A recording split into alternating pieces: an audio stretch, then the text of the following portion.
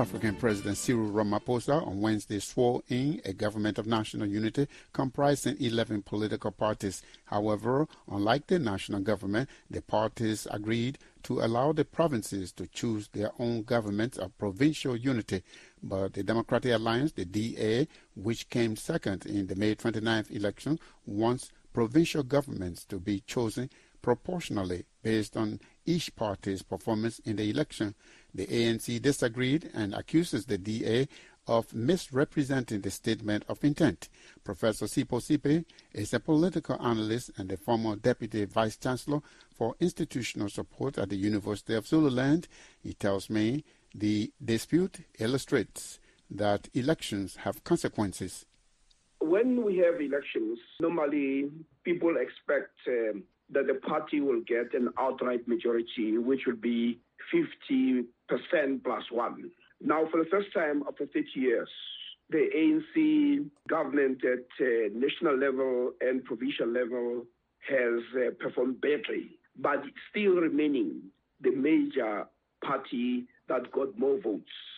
So in Gauteng, the ANC got uh, 34%. At the national level, it got 40%.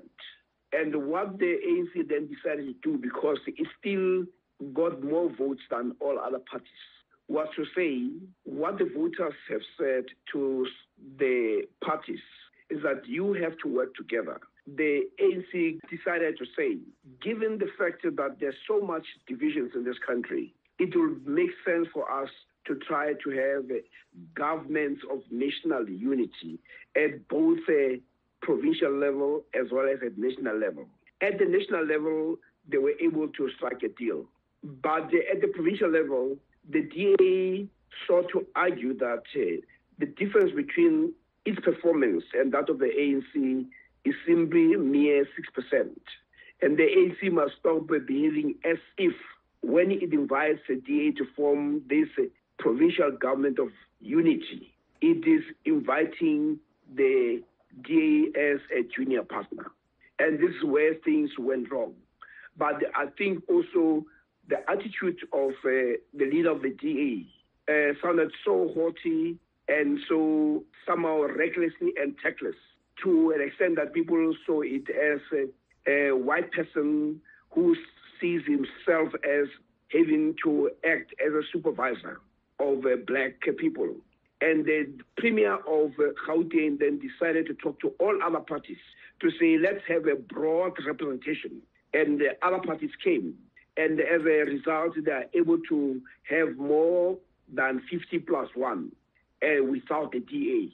So that is where the challenge is that uh, now you have uh, at the provincial level and the hub of our economy an ANC led government of provincial unity that is without the white party called the DA. What does that mean now in terms of the functioning of the national government?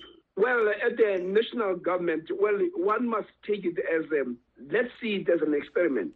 But what we also know is that the, the ANC's poor performance was because it had failed to change the material conditions of its traditional constituents.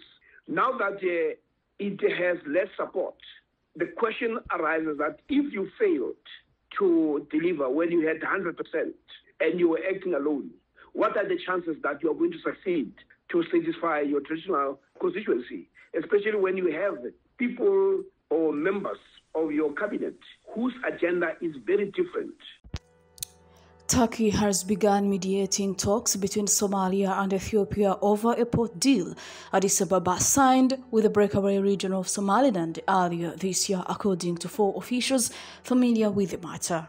The negotiations are the latest attempt to mend diplomatic ties between the East African neighbors whose relationship soared in January when Ethiopia agreed to lease 20 kilometers of coastline from Somaliland in exchange for recognition of its independence.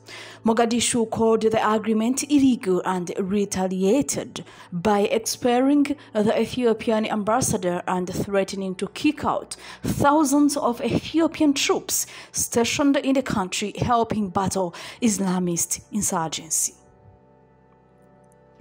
Spokespeople for the Somali government, Turkey's foreign ministry, and Ethiopia's foreign ministry, government, and intelligence service did not immediately respond to requests for comment. A spokesperson for Somaliland, which has struggled to gain international recognition despite governing itself and enjoying comparative peace and stability since declaring independence in 1991, said it was not involved in the talks. The goal of the negotiation was unclear, and expectations of a resolution were low, two of the officials said.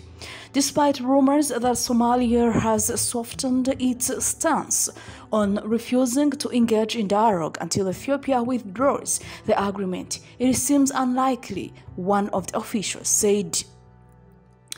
Turkey has become a close ally of the Somali government since President Recep Tayyip Erdogan first visited Mogadishu in 2011, training its security forces and supplying development assistance.